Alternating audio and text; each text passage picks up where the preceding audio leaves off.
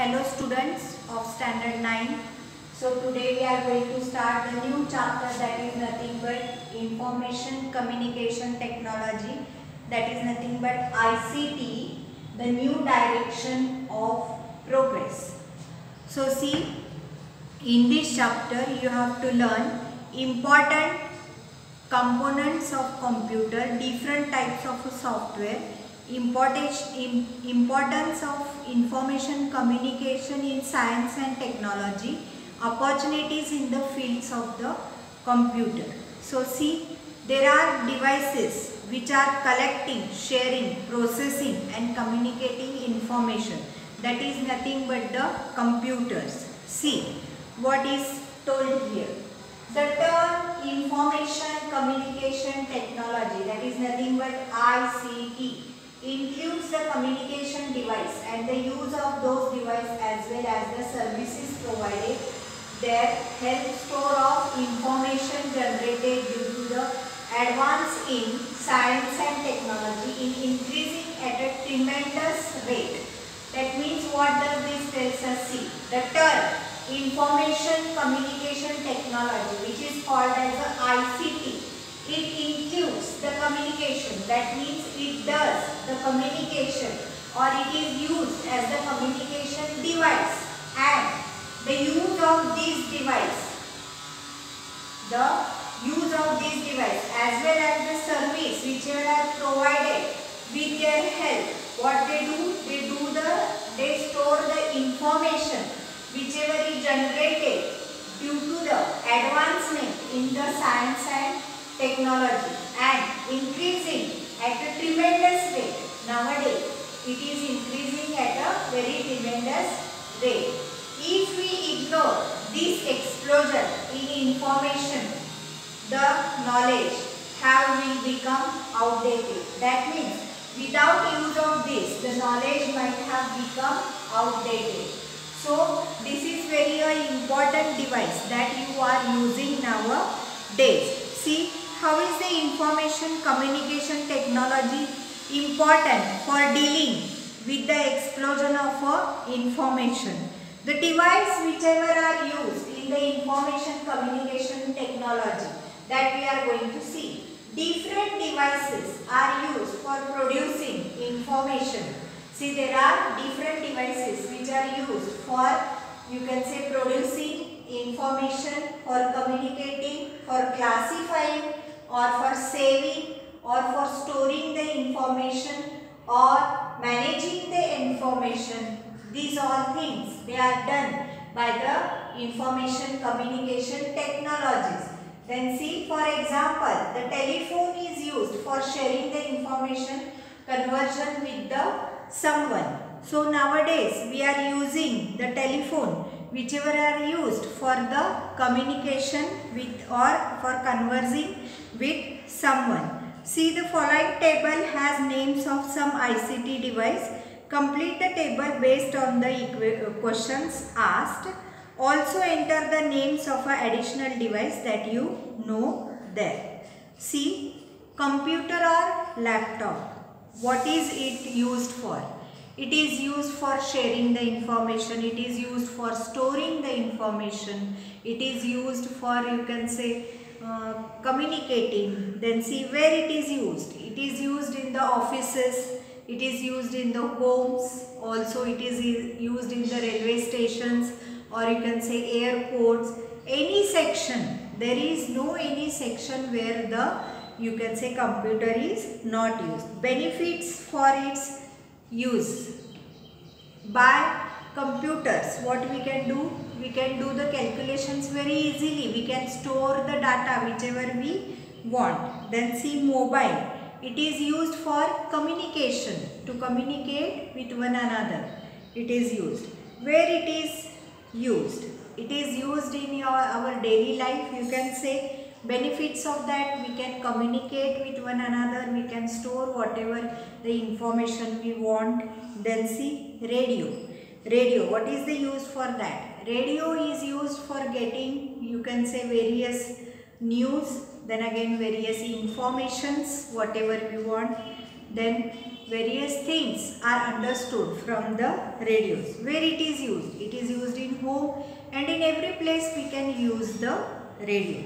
Benefits from it, benefits from its use. We can get the various information, we can get entertainment from it, we can get the news from it. Then see television. Television also same as that of the telephone.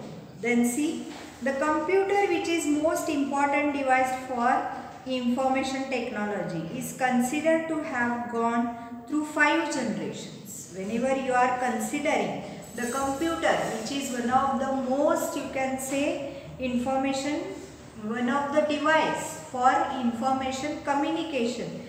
This is considered as or you can say this has gone through five generations then only the computer came into existence since it was first created first it was created after that five generations have went and then and then only the computer has been you can say formed the computer used during this period during the period between 1946 and 1959 are said to be first generation computers. Whenever you see the, you can say computer which were invented in 1946 and 1915 this was the this was this computer was considered as the computer of the first generation or you can say first generation computer the ENIAC computer was made in this period whenever you see the ENIAC computer was made in this period. Valves were used in their construction. This computer contains the valves which were very big and they were you can say large in size. They also consume a lot of electricity. More of the electricity was needed to such types of the device. That generated heat and computers would shut down many times what would happen? There, there was a generation of heat and these computers would shut down many times. Today these are the computers of the fifth generation. Whenever you see today's computers are the you can say computers of the fifth generation. The entry of computers in all field is this age of a technology has been possible only due to the increased speed of the computer. Why we are using the computers? Because nowadays the computers have been very important in each and every field because it has a you can say it has increased speed. It has a speed and we can make the calculations within no period or you can store most of the data into the computers. In which field of work you we, uh, we see computers being used. There are various you can say uh, fields that may be education field, that may be communication field, that may be you can say uh, transport and communication field, any field take that there, there is a use of a computer. Then see, can you tell how does the computer work? That we have to see. There are two units in computer. One is input unit and other is output unit. So what does the input unit contain? See there. All types of information or data is entered into the computer through this unit. So input important because most of the data or information is entered into the computer through this unit only. Generally a keyboard is, a, is used to enter data or information. What is done? The keyboard here it is used to enter the data or the information. Next comes the processing unit. Processing unit contains again three units which are this here memory unit, control unit and you can say ALU unit. So these are the units whichever are present in the processing unit. Memory units memorizes all of the information which is given to it. Control unit controls all of the you can say informations whichever are given to it and ALU that is arithmetic logic unit does all the you can say whatever the um, calculation is there. It is done by the such types of the units. Next comes the output unit. Output unit the result solution answer is eventually sent to the output unit. Generally a screen or a monitor or a printer is used as a output unit. So output unit means the unit which gives us output. Whatever we have entered through the input unit that is given out by the output unit. So which are the devices here? here? The screen, the monitor or printer. These are used as the you can say output unit. See next one. Important components of the computer. So these are the important computer, compute com components which are this here memory. Memory is the place of storing data obtained from input. So memory is a you can say unit. It is nothing but a processing unit. So what does it do? It stores the data whichever the data it has got from the input unit. And also generates solution or answer to the computer or what it does it also generates the solution or also it gives the answer by the computer. There are two types of memories. One is internal memory and one is external memory.